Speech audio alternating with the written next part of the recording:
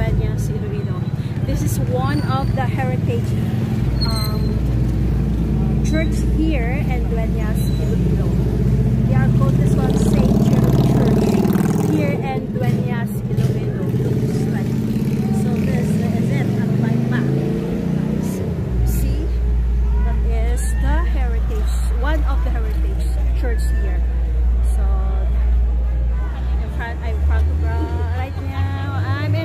The church, guys. Look, picture of the church. Okay, so we're gonna look around.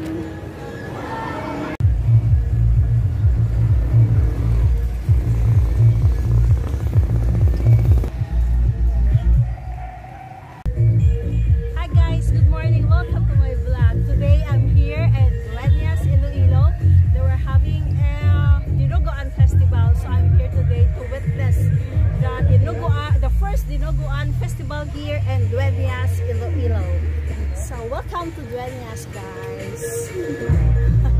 this is my place, the place of my parents.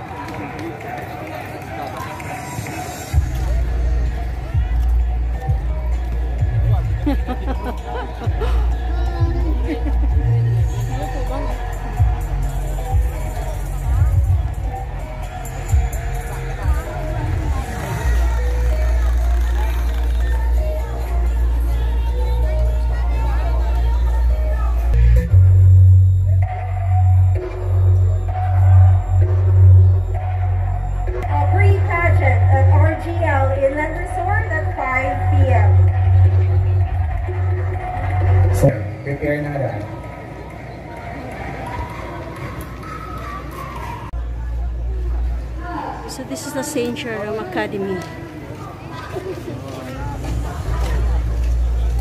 That's the school.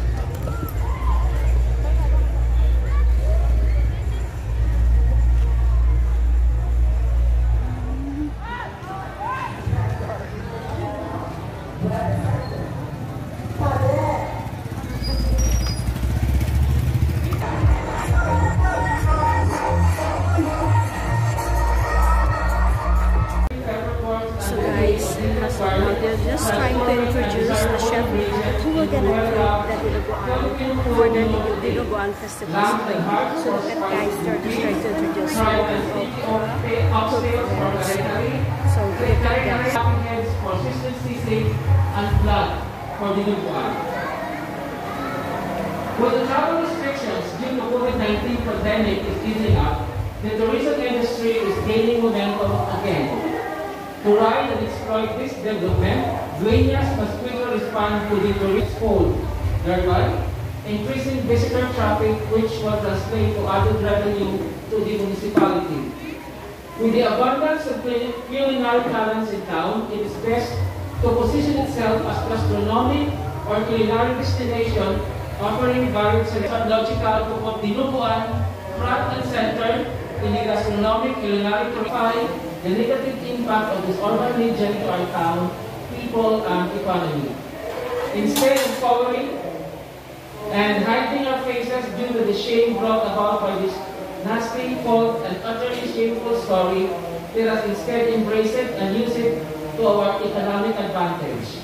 By holding the Dinuguan Cooking Competition, We signal to the world that, is, that it is not something to be afraid of, but something to be enjoyed and savored just like any other cuisines in the market.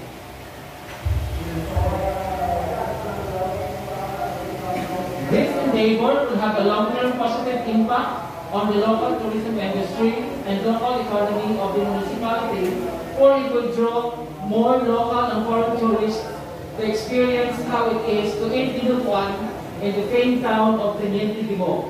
And most importantly, it will slowly erase the stigma felt by the Dueñasanos as a result by the urban region of Teniente. Thank you.